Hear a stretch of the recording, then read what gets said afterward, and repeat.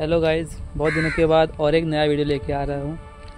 तो इस बार ये मेरी टी वी एस एंटॉक के बारे में है, जो मैंने रिसेंटली यूज़ में परचेज़ की थी। और मुझे न्यू लेने की ख्वाहिश थी, पर जैसे मैंने उसका रिव्यू देखा था मतलब सुना था, गाड़ी का प्रॉब्लम है, ये प्रॉब्लम ब्रेक का इशू है, गाड़ी का आवाज़ का इशू है नॉकिंग होता है क्लच का इशू आता है उसको। तो मैंने सोचा कि पहले यूज़ लेके ट्राई करेंगे और बाद में नए को जाएँगे। पर इसको लेने के बाद अभी मेरे, मुझे ऑलमोस्ट अभी आठ से नौ महीना हो गया है, पर मुझे कोई भी प्रॉब्लम ऐसा हाईलाइट नहीं हुआ है। तो मैंने इसके बारे में बाद में सोचा और अभी इसको मैंने ही मॉडिफाई कर दिया। मतलब मेरा हर एक बाइक को मैंने मॉडिफाई करके रखा था। और अभी मेरा इसको भी ड्रीम था मतलब कुछ तो चेंज करेंगे मतलब स्टैंडर्ड नहीं चाहिए स्टॉक नहीं चाहिए। तो ये मेरा वीडियो मेरी गाड़ी के बारे में होने वाला है। तो इस वीडियो में देखते रहिए। पहले कुछ सिनेमेटिक शॉट दिखाऊँगा। बाद में एक्सप्लेन करूँगा क्या क्या किया है कैसे कैसे किया है। और ये पहले बोल लेता हूँ, ये जो गाड़ी में किया है मेरी मॉडिफिकेशन ये अभी भी इंडिया में किसी भी गाड़ी को नहीं है एंटॉक को नहीं है। ये पहली गाड़ी है जिसको मैंने ये मॉडिफिकेशन किया है। और इंडिया में कहीं भी आपको, कोई भी चेक कर लो आप, आपको ये सब फीचर्स उसमें नहीं मिलेंगे। ये मेरी गारंटी है। तो वीडियो बहुत इंटरेस्टिंग होने वाला है। देखते रहिए। तो गाइस ये है मेरे एंटॉक 125 BS6 वर्जन है ये। 2021 मॉडल है ये। इसको अभी तीन साल कंप्लीट हो चुका है। और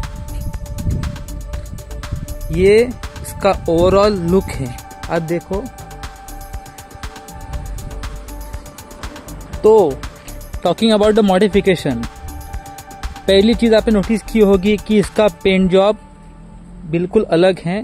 ये यूनिक शेड है। ये एक्चुअली जो स्विफ्ट डिज़ायर को आया था alpine blue colour limited edition उसका ही शेड पर इसमें हाइपर शिफ्ट पर्ल्स का मिक्सचर है।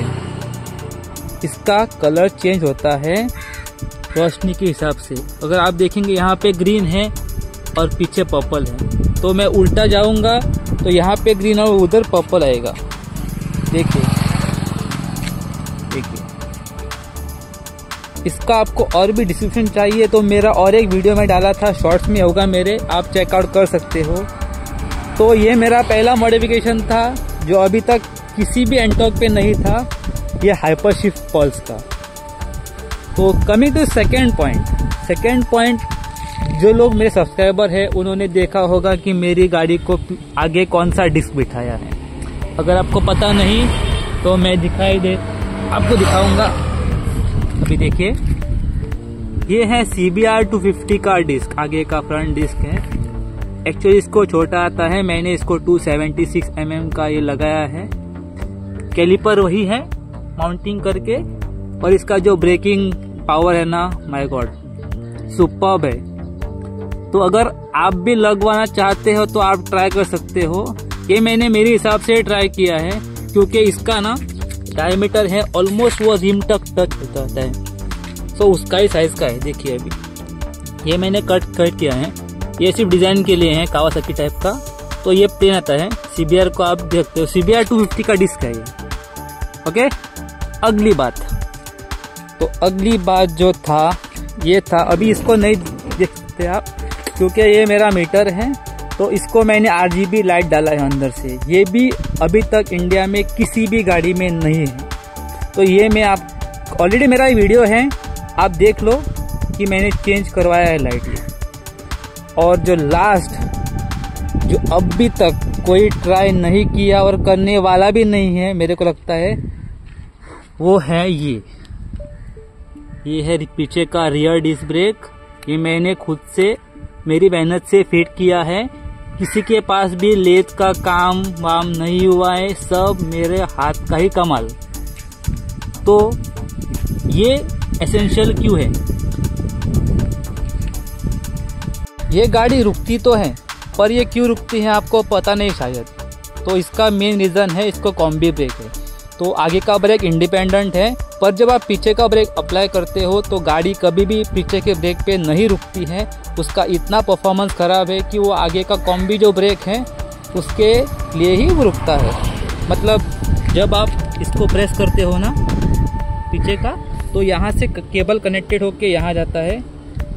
इस और आपका आगे का ब्रेक भी अप्लाई होता है। आप जब पीछे का ब्रेक अप्लाई करते हो तो यह बहुत डेंजरस है, क्योंकि बारिश के सीज़न में अगर रोड स्लिपरी है तो आप गिर सकते हो, आगे का ब्रेक लग के।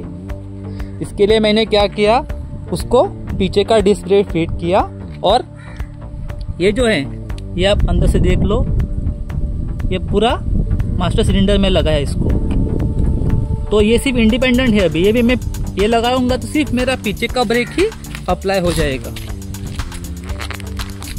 तो ये मैंने लगाया है पल्सर का। ये डिस्प्ले एंटॉक का जो आगे का था, वही मैं पीछे लगाया है अभी। और यहाँ से जो ब्रेक का केबल आता है, ऊपर जाता है पूरा। ये आगे तक जा रहा है। और talking about some upgrades visual upgrades ये जो पैनल है, मैं हाइड्रोडिप किया है कार्बन फाइबर का। ये भी किया है। ये भी किया है। और ये इंजन कवर भी किया था। This is just for visual upgrades बाकी का सब ओरिजिनल स्टॉक में ही है। आप देख सकते हो।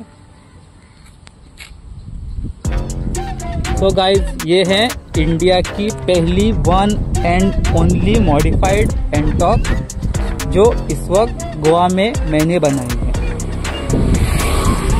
इसके बारे में आपके क्या व्यूज़ हैं, आपका कुछ क्वेश्चन है? आपको कुछ हेल्प चाहिए रिगार्डिंग द मॉडिफिकेशन आप मुझे कांटेक्ट कर सकते हो। पर अगर आपको ये वीडियो अच्छा लगा तो लाइक शेयर सब्सक्राइब ज़रूर करना और अपने दोस्तों को भी शेयर करना, जो कि मॉडिफिकेशंस को अपना आना चाहते हैं।